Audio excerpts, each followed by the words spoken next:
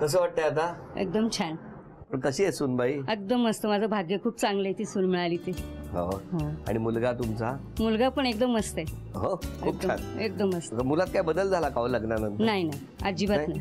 तो जो ऍक्सिडेंट झाला होता बघा Praju I love you Praju I love. You तर तुम्ही होता तिकडे? नाही आम्ही इकडे होतो अच्छा अच्छा. तो तिकडे गेलो होतो. पण आता बरं वाटतंय ना? हो छान खुश आहात ना तुम्ही? खुश खूप व्हेरी गुड तुम्ही सांगा हो. चांगली असून. हो? एकदम. काय चांगली म्हणजे काय आहे? चांगली स्वभावान चांगली आहे. हम्म. सगळं व्यवस्थित आमचं सगळं व्यवस्थित करते. होय ना. काळजी घेते. द्या आईकडे द्या. पहिल्यांदा माझा नकार होता ह्या गोष्टीला कारण मला तिचं लव इतक्या लवकर लग्न करायचं नव्हतं. बरोबर. आणि त्याच्यातून इंटरकास्ट मला अजिबात मान्य हा. नव्हतं परंतु शेजारीच हे लोक असल्यामुळे आणि त्यांच्या घरची सगळी परिस्थिती मला माहिती असल्यामुळे मी एक रात्र फक्त विचार केला आणि नंतर यांच्या लग्नाला होकार दिला.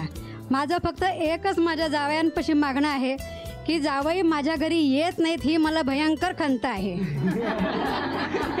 वेळच वेळ मिळत नाही. बोलले आहेत सासूबाई. हो. आणि त्यामुळे आता तुम्हाला जायला हवं. नक्कीच, नक्कीच. मी तुमच्या बरोबर? नाही नक्की या चाल ना? जाईल, जाईल नक्की. येणार येणार. जावई बरं झालं बोललात तुम्ही. बरं आता तुम्हाला विचारायचं आहे, आज क्षमा मागायची असेल तर कोणाची मागणार? आणि धन्यवाद द्यायचे असतील तर कोणाला द्या सगळ्यात पहिले सॉरी म्हणायचं असेल तर मी आईला म्हणेन. कारण आईला मी भरपूर त्रास दिलेला आहे. की नाही मला त्याच्याशीच लग्न करायचे काही झालं तरी म्हणजे फिल्मी डायलॉग जरी म्हणला ना तरी चालेल की मी तुझ्या प्रॉपर्टीवर लाथ मारते पण मला त्याच्याशीच लग्न करायचं त्यामुळे मी आईला सॉरी म्हणेन. आणि तिच्या अजूनही मी माझ्याकडनं काही चूक होत असेल त्याबद्दल पण सॉरी म्हणेन मी तिला. आणि थँक्यू पण तिलाच म्हणेन.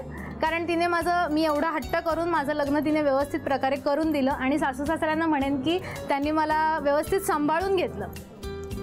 मला सॉरी म्हणायचं झालं तर मी पण सासूबाईंना सॉरी म्हणेन. कारण की मी त्यांना खूप त्रास दिलेला आहे. त्या मला एकदा भेटून बोलले की तू हिला भेटू नकोस.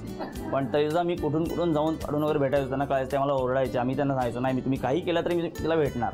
असं सगळा मी त्रास दिला त्यासाठी मी त्यांना सॉरी म्हणेन. आणि थँक्यू बोलायचं सगळ्यांना म्हणेन की सगळ्यांनी मिळून मला व्यवस्थित सपोर्ट केला आणि हे लग्न करण्यात मदत केली आणि अशी बायको मला मिळाली. मग आता सासूबाईंकडे जाणार. हो नक्की जाणार.